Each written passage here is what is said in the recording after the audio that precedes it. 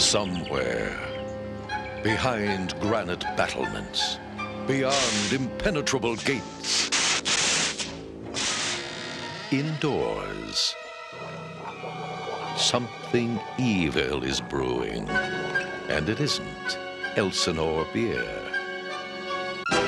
Here, an unsuspecting heiress has become the innocent pawn of a diabolical genius. At his command, space-age super lasers that can incinerate an entire metropolis. An army of deadly hockey warriors. At his fingertips, lots of beer. Just one more test, and then we are ready for the world. What fool dares stand in his way?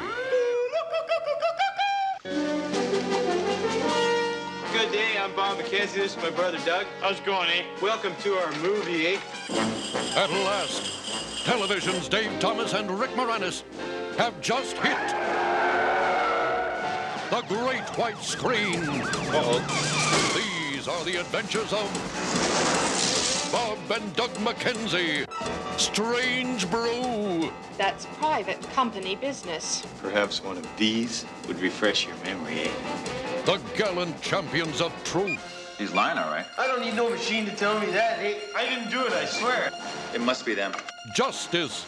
I think it's time the little lady and I had a chat. And the pursuit of bad guys.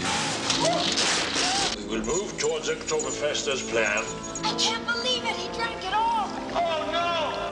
will not underestimate our little friends again. With Max von Shut up! Shut up! Shut up! Paul Dooley, You murdered him first. He was already dead when I killed him. Lynne Griffin, If I didn't have puke breath, I'd kiss you. and an all-star cast. Take off, you boy. you take off, you nut. Ah, okay.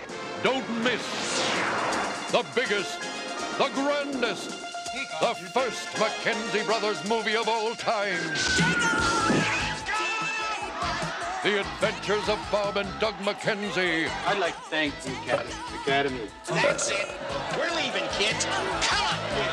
Strange Brew. You hoser, they wanted to see our movie. Now they're mad at us. Take off. It's only a preview, eh? I didn't want to show them the best part. Okay, so that's our topic for today. So good day. What?